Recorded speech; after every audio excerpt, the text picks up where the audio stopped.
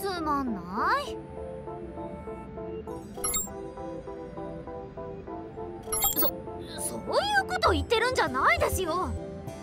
そこのアホシスさんのことです。え？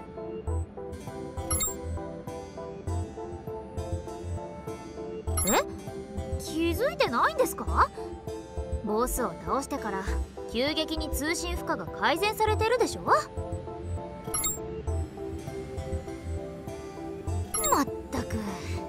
本当にアホシスさんですね。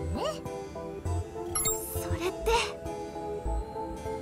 ええもうすぐ会話機能が戻ります。ってことです。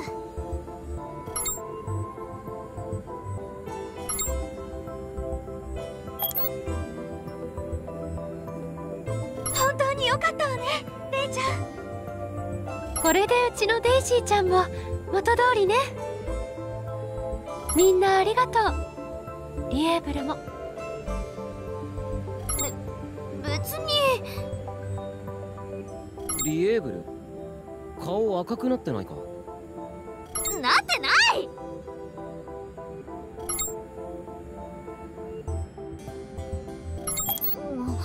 お礼なんていりません。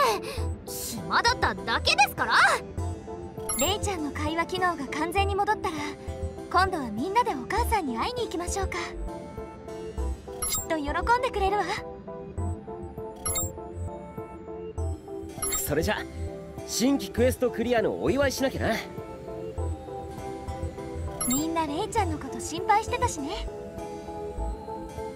懐かしい仲間が戻ってきたこともみんなに教えてあげなくちゃいけないし。リエーブルももちろん来るでしょ。